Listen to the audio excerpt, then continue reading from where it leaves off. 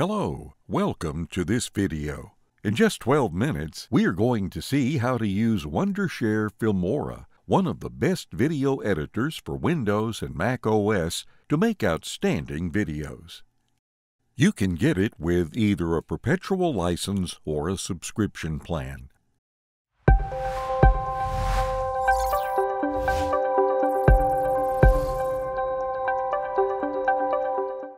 Filmora opens with a startup window showing several options to start working. You get the list of your most recent projects and several ways to perform specific projects with Filmora. With Instant Mode, you can pick and use ready-made templates to make professional videos in no time. With Screen Recorder, you can record your desktop screen, and with Auto Reframe, you crop a video by tracking the subject automatically and using a selected aspect ratio.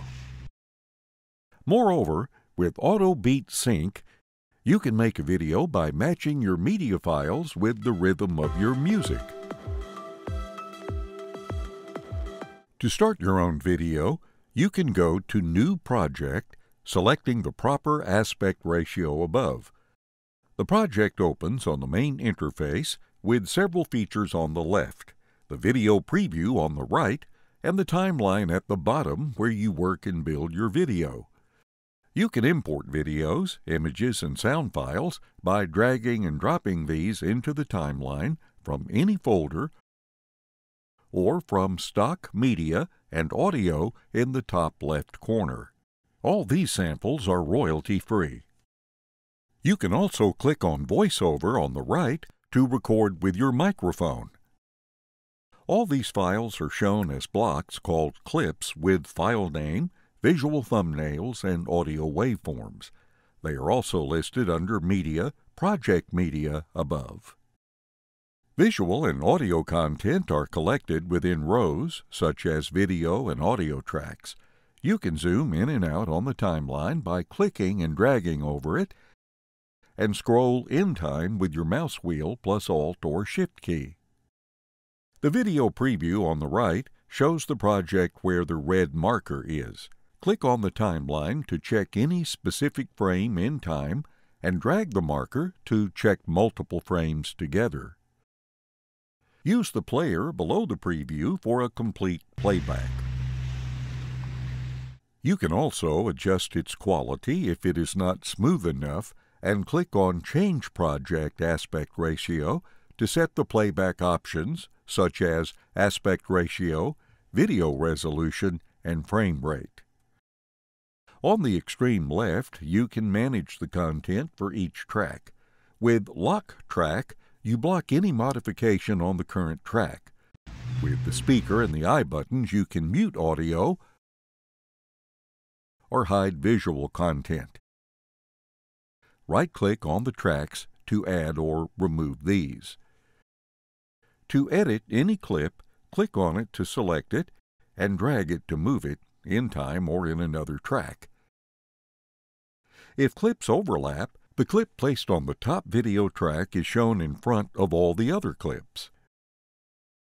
When dragging videos with audio, frames and audio are moved together, unless you make these independent by right-clicking and going to Detach Audio. To cut, copy, and paste any clip, select it and use Control or Command and X, C, and V. You can cut any clip to remove it quickly and use Control or Command and Z to undo any action. Pay attention when Auto Ripple is on. This automatically covers the time gap left by removed clips by moving all the following ones. You can disable this option if you do not need it. To adjust the duration of any clip, just drag it from its edges. This cuts content on videos and sound files. Whereas, to split any clip, place the red marker and click on its scissors button. To adjust the clip's appearance and sound, you can double-click on these and edit their complete properties in the top left corner divided in sections that change according to the kind of clip selected. You can correct any property by using the slide bars or typing inside, applying with the Enter key. You can also enable and disable properties with their buttons on top. When selecting a video or an image and go to Video or Image Basic, you get the Transform section to set the clip size, position, and inclination with Rotate, or even flip it. You can also set blending mode, transparency with opacity, and enable drop shadow to drop shadow behind the clip, in particular when it stays in front of another. You can also click once on the preview to move, scale, and rotate the clip directly. The Mask section is completely new. This allows you to drop the clip with different shapes, including the classic rectangle. On the video preview, you can move the mask, resize it, and rotate it. On the left, adjust its properties and add some blur. Switch to AI Tools for amazing AI features. Enable Chroma Key to remove a specific background color you can pick by clicking anywhere with the eyedropper. This is very useful on green screens, making the background color transparent to apply other media. AI Portrait is similar, removing even complex backgrounds from portraits. You can also enable Smart Cutout to directly brush on the subject to separate it from the background. With motion tracking, you can move any media by tracking motion from the current clip. First of all, click on Motion Track and then place the target box on the subject to track. Run again the analysis and import the media file to be moved on Link Element. Below, use stabilization to reduce the video shakiness and lens correction to correct lens distortion.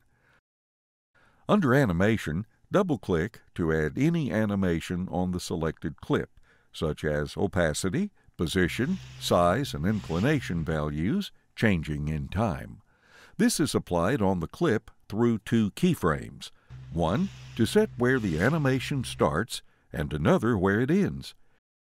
You can click and drag any keyframe to set when the animation must start or end and also its duration and speed, fixed by the time distance between the two keyframes.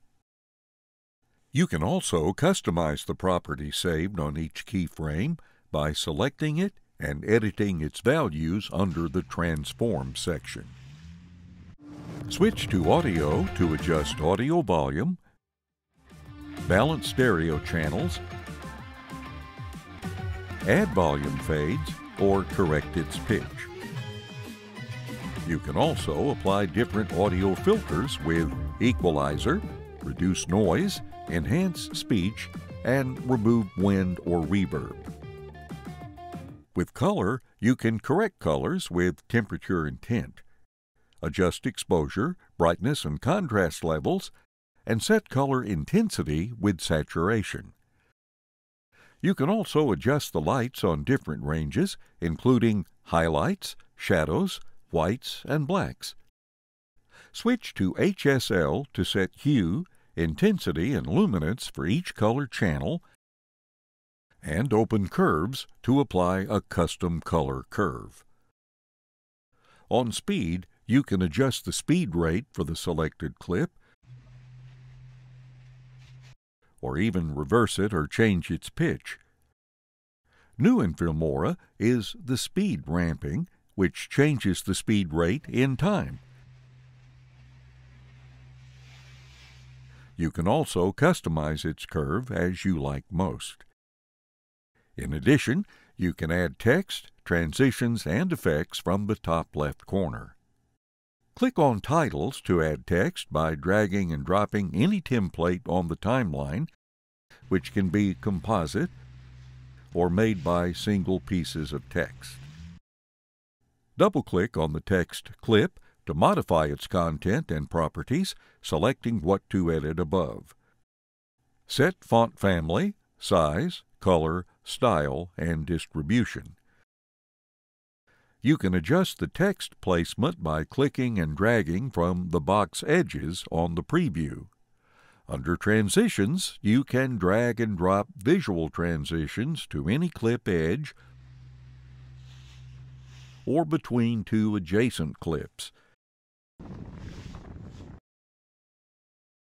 You can move and edit transitions as you do with standard media clips.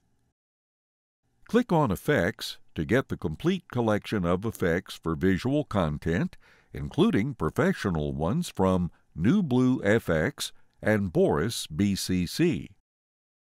Drag and drop any effect on the clip using Control or Command and Z to undo. You can change the effect properties under the dedicated Effects section. To save your project, go to File, Save Project As. This is saved as a WFP file. Or go to Archive Project to also store its assets under a WFP bundle file. This project is also listed in the Startup page with the possibility to upload it to the new Wondershare Drive Cloud so that you can download and work on it anywhere. To render your project into a video, go to Export in the top right corner. On top, select how to export your video, selecting Local to render in your computer, Device to render for smartphones, tablets, or consoles, or select between YouTube TikTok, and Vimeo to render and upload online directly. For example, under Local, select a ready template on the left and set video name, destination, and adjust resolution and frame rate. You can also upload it on the newest Wondershare Drive Cloud. Thank you very much for watching this video. Make sure to visit our YouTube channel and our website to get more free tutorials, tips, and giveaways.